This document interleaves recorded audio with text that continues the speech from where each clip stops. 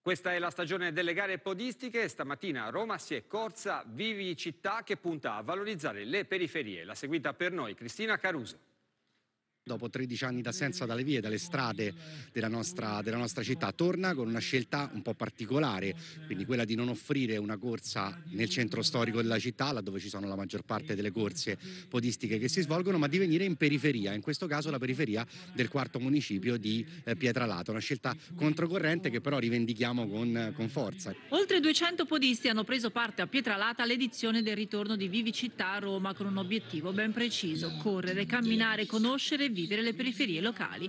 38 appuntamento di quella che è la corsa più grande del mondo, una manifestazione podistica internazionale che abbina il lato competitivo della 10 km a un grande spazio dato alla camminata ludico-motoria aperta a tutti. Sono state infatti tantissime le famiglie e cittadini che in 34 città italiane ed europee hanno deciso di passare alcune ore assieme in movimento all'aria aperta con un'unica classifica compensata. Il prossimo obiettivo è quello di coinvolgere sempre più persone intorno a queste tematiche. Quest'anno la tematica del diritto all'ambiente, alla pace, alla vita per le persone che sono in carcere. Vuole cercare di coniugare sempre di più diritti e sport.